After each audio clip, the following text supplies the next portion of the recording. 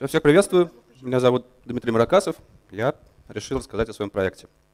Значит, я уже 15 лет в свободном и открытом ПО, стараюсь контрибутить много во что. И так получилось, что мой путь связан с системой FreeBSD, а не Linux. Вот. И там я больше всего вкладываю в систему портов. Ну, кто не знает, это пакетная система FreeBSD, из нее делаются бинарные пакеты, а сама она source-based. Вот, я поддерживаю порядка 400 портов. И у меня есть хотелки. Поскольку я не могу жить в информационном вакууме, мне нужно знать, что мне что-то нужно обновить, мне нужно знать, не упустил ли я какую-нибудь проблему, о которой, возможно, кто-то еще знает. А, я хочу понимать, возможно, чего-то не хватает в репозитории, надо что-то добавить, что нужно другим людям. И вообще мне интересно, насколько FreeBSD, а он, как вы, наверное, знаете, менее популярный, чем Linux. То есть если говорят, что Linux 100% рынка, то FreeBSD, наверное, там 1% от этих 2%. А, и в этом в этой связи интересно, насколько, насколько он может угнаться за Linux и насколько сравним. А, есть системы, которые, наверное, есть у многих дистрибутивов и репозиториев, которые, собственно, решают часть этой задачи. Они позволяют понять, например, что появились новые релизы, потому что ну, тут главный point, что невозможно руками прокликать все 400 проектов, невозможно следить за новостями, потому что в новостях публикуется не все, а хочется обновлять все без исключений. Вот. Э, работают они просто. Некоторые смотрят на наличие новых торболов, просто берут версию, грубо говоря, прибавляют единичку, смотрят, появился ли такой архив. Э, некоторые смотрят на сайты, и в частности есть проект RIS Monitoring Org. Он, насколько я знаю, по определенным выражениям парсит какие-то данные сайтов э, проектов. Ну, а кто-то смотрит на VCS, то есть на GitHub. Вот, но все это, во-первых, решает только часть задачи, во-вторых, дает ложные срабатывания, как здесь, например, видно, это вот инструмент от FreeBSD, который смотрит на новые релизы того, что у нас в портах есть. Ну, здесь, например, видно, что, наверное, плохо видно, но вот четвертая строчка снизу, пятая, там появился тег push, и он здесь считается новым релизом почему-то, то есть ложное срабатывание есть. Ну и опять-таки не, не все ловится. Вот, поэтому, учитывая, что есть другие хотелки, появилась идея сделать такой проект, который в первом приближении делает простую вещь, он скачивает информацию о нескольких репозиториях, делает табличку из них сводную. И вот я откопал вчера один, один из первых комитов в своем репозитории, он даже запустился, и это выглядит примерно так. То есть получилась огромная портянка HTML, и здесь видно, какие есть версии в каком репозитории, э, какие из них актуальные, какие, какие требуют обновления, где пакеты отсутствуют. Вот, началось все с этого. Наверное, про историю не особо интересно слушать, но прошло 5 лет, теперь это выглядит примерно так. Теперь это полноценный сервис, там база данных, он обновляется в реальном времени, там куча срезов, статистики и так далее. Вот, собственно, про него я хочу рассказать. Надеюсь, что все монтейнеры, которые присутствуют здесь, мои коллеги, его используют. Но, возможно, кто-то знает что-то новое. В любом случае, главное, что я хочу, это какой-то фидбэк услышать, потому что я продолжаю развивать, и надо, видимо, получать какую-то обратную связь. Вот, ну, чтобы было поня понятно, что он вообще делает, можно начать с того, как он работает. Собственно, он ходит во все репозитории, о которых знает, и собирает информацию о пакетах там. Вот для примера, то, что получается, это, это, это формат репозитория Debian. Э, видно, что это обычный текстовый файлик. Мы его качаем, и видно, вот я выделил какие-то поля, которые нам интересны. В частности, это, ну, самое главное, это имя пакета, то есть название и версия, но также какая-то дополнительная информация, типа там домашней страницы, категории, которой он принадлежит, и монтейнеров. Второе, это самое сложное, мы нормализуем данные, потому что везде все по-разному, пакеты называются по-разному, версии пишутся по-разному, кто-то искажает версии. Вот, есть куча проблем, мы стараемся с ними бороться. в частности, первое, что делается, это э, пакеты, принадлежащие одному проекту, ну, здесь ведем термин проект. Проект это вот upstream один, один проект Nginx. Вот, он может быть опакетен по-разному. Соответственно, пакет это то, что содержится в репозиториях. Вот, э, склеиваем то, что принадлежит этому проекту, разделяем то, что принадлежит разным проектам, потому что бывает два разных проекта под одним названием. Вот, и самое интересное это версии, как бы они там не выглядели. Мы стараемся из них все-таки вычленить то, как upstream эту версию назвал. Вот, то есть обычно что-то вот простенькое в виде, в виде семвера, там циферок зеленых точках и, возможно, префикса, э, суффикса там пререлизного. Потом эти версии мы сравниваем, соответственно, сравнив их, мы получаем информацию о том, какой пакет новый, какой пакет требует обновления. Э, есть там другие статусы. Ну, из этого всего получается, над этим всем строится вся остальная инфраструктура, собственно. Ну, тут все написано, история, фиды и так далее. Вот, масштабы на данный момент такие. Три с половиной сотни репозиториев различных, 85 э, плюс-минус пакетных инфраструктур, они же формата данных, ну, потому что можно считать в первом что... Э, ну, то есть пакетная инфраструктура — это отдельные семейства репозиториев, которые не делятся пакетами. Например, Debian, Ubuntu, все производные Debian — это одна инфраструктура, там один формат, и пакеты там, скорее всего, из Debian по большей части. Вот поэтому это считается одной инфраструктурой, там один формат. Вот, соответственно, есть куча других. 3,5 миллиона пакетов, порядка, порядка миллиона проектов. Вот, это просто список репозиториев для примера. Соответственно, здесь куча Linux, здесь все BSD представлены, здесь какие-то дополнительные репозитории, которые можно подключить к Linux. Здесь не Linux, а, в частности Solaris, какие-то, в общем, вещи, про которые я даже не знаю, что системы. Ну, macOS, для него есть два или три репозитория. А, репозитории отдельных языков программирования, то есть коллекция модулей типа PyP, там, или CPAN для Perl, или RabbitGems для Ruby. И некоторые интересные источники, которые не являются репозиториями напрямую, но тем не менее их можно использовать как источник новых версий. Например, это вот новостные сайты. И самое интересное это Wikidata, поскольку это не репозиторий, но это источник версий для Википедии. Вот вроде как тоже важная, важная вещь, и с одной стороны в ней могут быстро появиться новые версии, когда они выходят, а с другой стороны, наоборот, им полезно тоже знать, что у них информация устарела, и нужно обновить данные, соответственно, чтобы страничка на Википедии обновилась. Вот, ну тут я хотел браузер показать, но, наверное, это будет долго, поэтому у меня, в принципе, есть скриншоты. Давайте пройдемся быстренько по сайту. А, собственно, в верхнем меню основные разделы. А, первый из них — это проекты. А, проекты — это вот список всех проектов, уже объединенные пакеты, то есть агрегированная информация. Вот, вот здесь видно табличку. Это, в принципе, примерно то, что было на первом слайде. То есть развитие вот той самой таблички, только теперь она листается по страничкам. Здесь также видны проекты, для них последняя версия, все остальные версии. Ну, игнорируемые версии, которые по каким-то причинам считаются неправильными, мы их не можем сравнивать. А, мы их отдельно считаем, как бы они не участвуют в сравнении. Вот, здесь важно важное улучшение по сравнению с тем, что было 5 лет назад, это система фильтров. Соответственно, она позволяет получить всякие выборки из этого, которые можно использовать, можно использовать для каких-то своих целей. Ну, во-первых, это фильтр по имени, там можно подстроку использовать, например, Firefox найдет там Firefox-что-нибудь, а, собственно, вбить свой email монтейнера, если, он, если репозиторий его публикует, то по нему тоже будет выборка.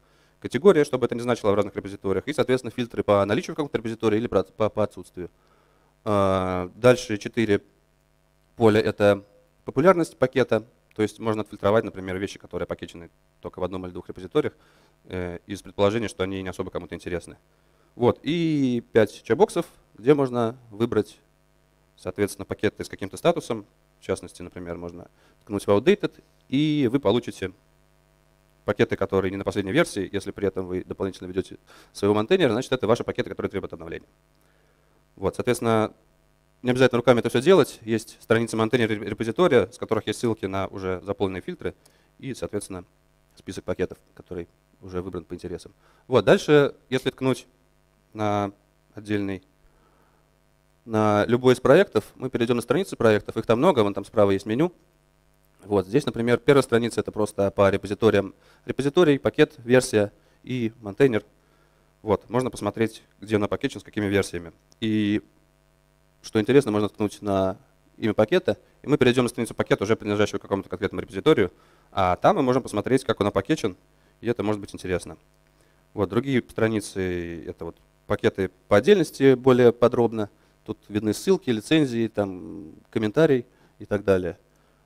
А, это немножко сумбурная страница, но здесь различные поля пакета сгруппированы как бы в группы, и можно посмотреть, например, все версии отсортированы.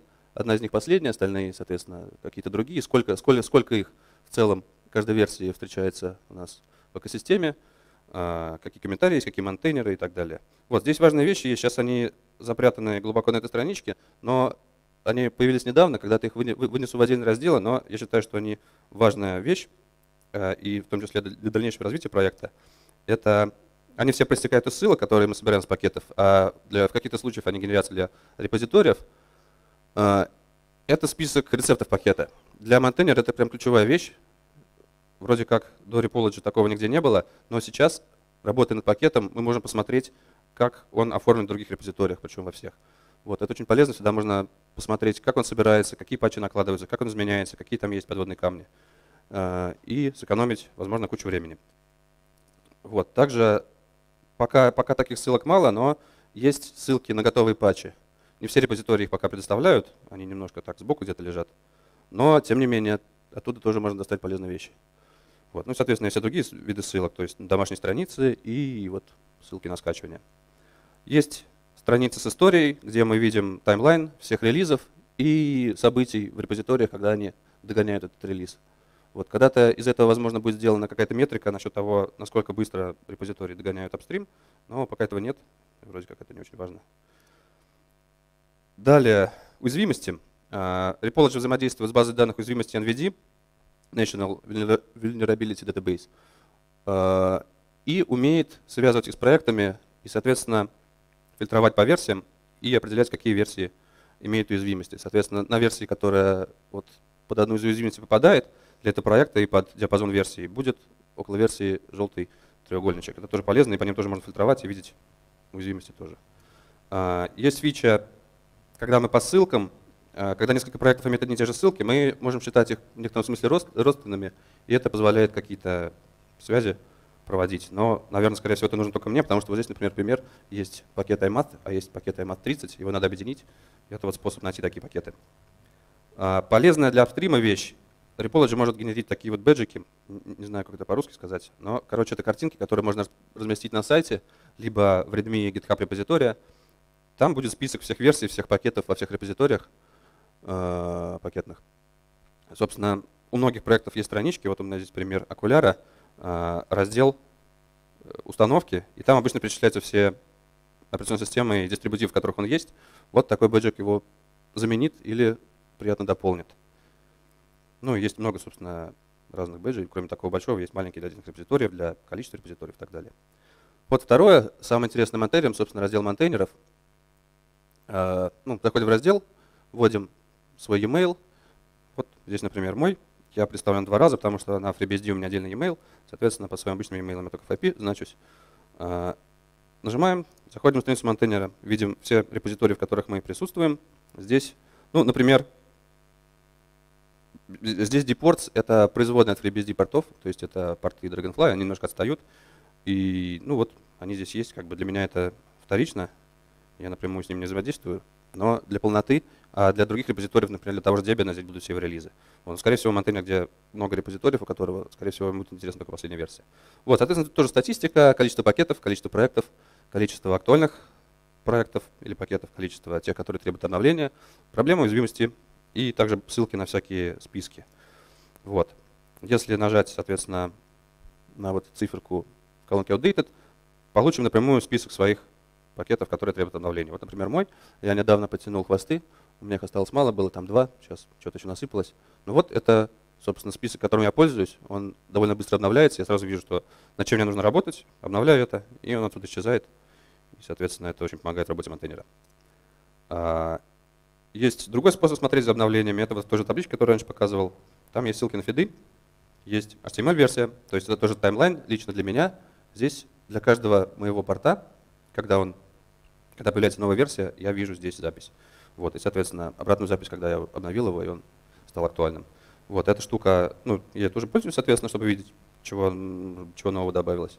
А, она есть в виде атом фида, ее можно подключить, например, к мобильной читалке. Вот здесь пример, это что я вижу в своем мобильнике. Вот, и тут надо сказать, что здесь у меня сразу два фида, вот с той тулзы для FreeBSD, которую раньше показывал, для Repology, они не заменяют друг друга, но дополняют, потому что что-то Repology не видит, у нее тоже есть какие-то false позитивы. Вместе они прям работают замечательно.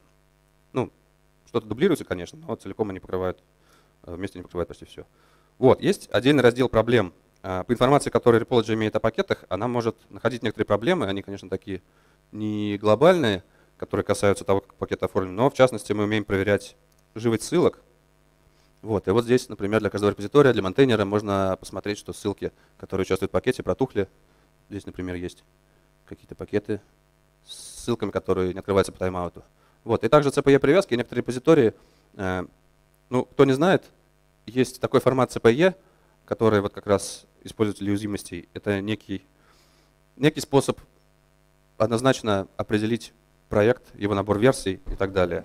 И пакеты привязываются, собственно, к этому идентификатору, и потом их можно а, сравнить с базой данных уязвимостей. Вот эти привязки могут быть неполные, здесь тоже по ним проблемы показываются. Тоже может быть полезно, чтобы улучшить качество э, репозитория. Ну, собственно, раздел с репозиториями. Тут большая табличка всех репозиториев, статистика, э, насколько они полны. насколько они актуальны, количество монтейнеров, количество проблем, количество уязвимостей. Здесь есть интересные вещи, такие как графики. Вот, например, отдельный их вариант – это карта, карта всех репозиториев. По горизонтали у нас количество пакетов общее, по вертикали количество пакетов актуальное. Соответственно, здесь видна вся экосистема, насколько она большая, и место каждого репозитория в ней. В частности, самый большой репозиторий — это Nix, AUR, а, Сизиф, если кому интересно, где-то где, -то, вот он. Вот, FreeBSD актуальный, как оказалось, и полнее. А, для тех, кто относится к какому-то репозиторию, интересен, возможно, будет раздел про обновления. Я так понимаю, почти никто не знает. А, отдельная вкладочка под раздел репозиториев. А, последнее время обновления, и если на него нажать, ну, соответственно, статистика, возможно, какие-то проблемы с обновлением. Если на него нажать, будет лог, там тоже есть некоторые проблемы. Они, к сожалению, пока, хотя должны, вот к тем проблемам, которые раньше показывал со ссылками, не прикрепляются но, наверное, когда-то будут. Вот здесь, в частности, тоже какие-то битые ссылки есть, но уже не по факту, а по формату. То есть там HTTPS и точка запятой вместо двоеточия. На него тоже можно посмотреть, тоже можно что-то починить. Графики — это тоже сизиф.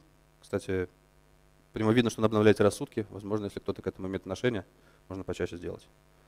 А, ну и всякие интересные вещи, которые придумались и сделались, не знаю, насколько полезны, но, по крайней мере, интересны. Есть раздел Tools, там, в принципе, немного вещей, но вот интересно, это Training Projects, это э, пакеты, которые, точнее, проекты, которые опакечиваются в большем количестве репозиториев или в меньшем, то есть добавляются куда-то или удаляются. Вот, тут, в частности, я вчера посмотрел, узнал, что появился BZIP 3, наверное, что-то интересное, я иначе не узнал бы про него. Вот, ну и также видно, что какие-то проекты от них отказываются, возможно, их тоже нужно откуда-то вычистить.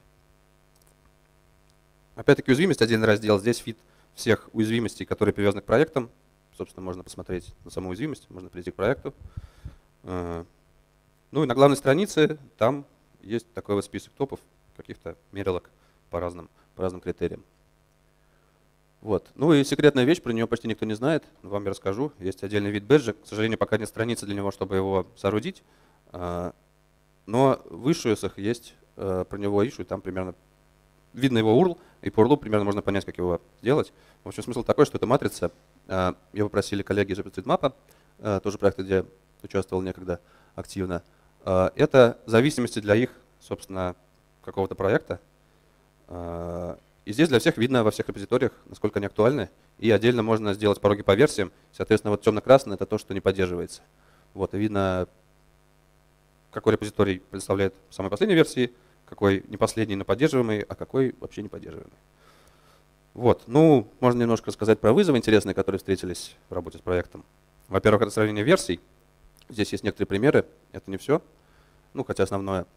А, под это пришлось написать целую библиотеку. Если кому нужно это, ее можно взять. Значит, на GitHub, на C написано, MIT лицензия. А, очень простая, там одна функция, которая берет два указателя на char, не возвращает ошибки, не выделяет память, сравнивает все версии вот на Repology. Э, по моим представлениям, самая универсальная библиотека для сравнения версий. Вот это вот примерно то, что она умеет. Ну, нормализация данных – сложная вещь. Собственно, вот эти все слияния, разбивки и так далее, игнорированные версии требуют э, ручных правил. Э, их сейчас 20 тысяч примерно накопилось за вот 5 лет. Э, не могу сказать, чтобы это много времени тратило, но вот тем не менее труд какой-то был сделан, видимо. Вот, и, возможно, тоже кому-то пригодится. Есть репозиторий с правилами отдельный. Они там разбиты по категориям. Сначала мы производим слияние пакетов, потом разбиваем их, если потребуется, потом игнорируем версии. Вот, возможно, кто-то что-то оттуда наманит. Интересное. А, интересный вызов парсинг версий. Тут вот есть два. Ну, обычно, обычно все легко. Есть апстрим версия, репозиторий прибавляет к ней ревизию, это какая-то внутренняя версия пакета, и, возможно, эпоху для случая, когда версия по каким-то причинам уменьшается, но нужно сохранить возрастающий порядок. Вот RPM и Debian, они интересны, поскольку они любят добавлять свои вещи. В RPM есть проблема, что версия и релиз — это разные поля, и вот пререлизный э, суффикс типа альфа-1, бета-2, там, он э, участвует не в поле версии, а в поле релиз. Вот, его надо оттуда выпросить и при, при, при, приклеить к версии. Такой челлендж там был, долго я к нему шел, но что-то сделал. Вот, и, соответственно, нужно понять, что э, если мы не можем это сделать, но это пререлизная версия, мы должны это понять, чтобы э, не считать ее последней, поскольку она на самом деле это снапшот. Вот такой версии апстрима нету.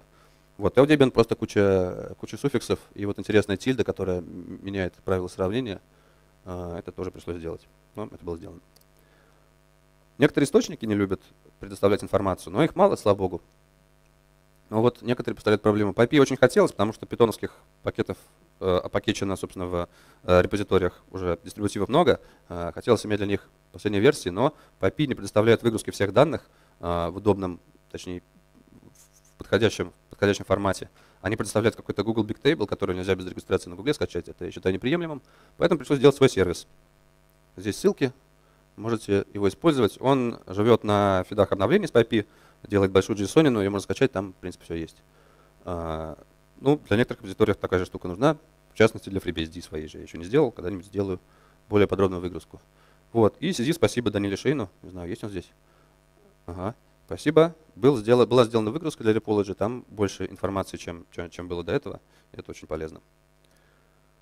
Ну и последнее интересное, это вот взаимодействие с NVD. Во-первых, вот эти TCP-привязки, собственно, CP вот так выглядят. Там какие-то служебные поля, потом название вендора, название проекта, версия и какие-то еще поля, типа там целевой, целевой, целевого железа, целевого софта и так далее. Вот. В общем, их нельзя никак сгенерировать, их надо делать руками. Их еще бывает несколько длинного проекта. Сейчас вот 3000 штук накопилось, тоже руками их добавляю, пока не устал от этого. А, был написан парсер НВД, он, в принципе, простой, но вот он делает важную вещь, качает оттуда последнюю информацию о уязвимостях и сопоставляет ее с базой Repology. Ну и взаимодействие с NVD тоже надо, потому что у них есть ошибки в этих всех их уязвимостях. Уже было написано порядка 200 писем, ну, точнее, это переписка там, ну, будем считать 100. А, сейчас они перестали отвечать, это плохо. А, не знаю, с чем это связано, там были проблемы со спамом какие-то у них, мои письма так подали. Может, это связано с политической ситуацией, но вот такая печаль есть, нет возможности что-то пофиксить. Надо, наверное, как-то по-другому с ним попробовать связаться. Ну, про планы можно сказать, собственно, логично, но на самом деле нет. Не буду переписывать все, написано все довольно неплохо, какой-то рефакторинг, конечно, требуется, но основные планы — это, конечно, улучшить сайт. Я вот делал презентацию, мне стало стыдно за запутанность его, наверное, какую-то, поэтому надо его немножко переделать. А, важная вещь, хочется сделать поддержку GitHub напрямую, то есть, наверное, тут тоже потребуются какие-то привязки ручные, а, что-то автоматически, но версии брать прямо из тегов, а, это будет круто, это будет быстро, это будет надежно. А, поддержать информацию зависимость хочется, чтобы апстрим, например, мог узнать, что ну, сейчас полезно для апстрима то, что он знает, э, как, как и где его проект опакечен, а будет также знать, кем он используется. Кажется, это тоже немаловажно. Вот. И хочется патчи рецепты, логи сборки собирать себе и делать из них какие-то выжимки. Ну, во-первых, чтобы не тыкать по куче ссылок, показать рецепты на одной странице, чтобы можно было разом посмотреть, как кто опакетил что. Вот. И, возможно, по логам сборки, не знаю, фильтровать ворнинги оттуда, чтобы тоже кто-то мог, чтобы, например, апстрим видел, что его проект собирается с ворнингами в каких-то дистрибутивах. Вот. У меня все. Я хочу сказать, что репозиторий каждый отдельный на самом деле не обособлен. У нас целая экосистема. А, мы дублируем свою работу много раз, но кажется, что мы можем это не делать. А, я надеюсь, что я сделал инструмент, который поможет это улучшить. Вот, давайте общаться как монтейнеры, давайте взаимодействовать, использовать наши решения. Вот. И, собственно, все. Спасибо. Спасибо вам большое за доклад и особенно за вашу работу замечательную. Так, коллеги, значит, ровно два вопроса, и больше не будет, потому что мы дали слово Дмитрию вот, и немножко вылезли за границы. Обязательно в куларах все обсудим. Пожалуйста. Слоев Олег, Базальт СПУ. У меня вопрос. А вот этот сервис, он физически где хостится? Физически на виртуалке, на хостинге э, Sprint. Ну, территориально в России. Одна виртуалка небольшая.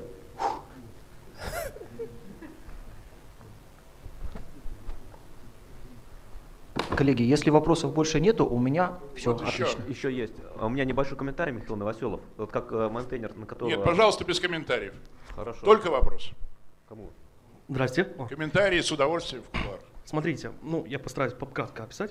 Мы работаем на PHP. У нас есть, ну, на PHP есть свой пакетный менеджер, Composer называется. И у Composer они собрали свой пакет-лист, то есть тоже репозиторий свой. Ну, так вот, в связи со всем интересным, что сейчас происходит, суть в том, то, что ведется активно подрывная деятельность, и мы не можем теперь напрямую качать от разработчиков вообще даже за GitHub желательно. И нам нужно дублировать где-то, а, скажем так, PHP все пакеты, которые пишут где-то, ну или мы не можем напрямую качать. И, соответственно, что нам делать вообще? Не знаю, как вам ответить. Нет? А как это вообще? Ну как, у нас метаинформация, собственно, с- с- сам, сам контент мы не качаем. Ну, кстати, если кому-то нужна какая-то статистика, там, и какие-то выгрузки, это можно обращаться. Но вот о, конте- о контенте проектов, ну, А куда нам вообще, вот, э, вот, ну, я ко всем обращаюсь, куда нам направиться, кто нам, как нам вести, то есть это ж не только о PHP, а ну, давайте в кулуарах. Предлагаю направиться в кулуары, потому что вопрос действительно н- не, к- не к- не к пианисту. Да, это, это явно не общий вопрос. Э, Вот, так, но вопрос актуальный. спасибо большое, Дмитрий. 田島君。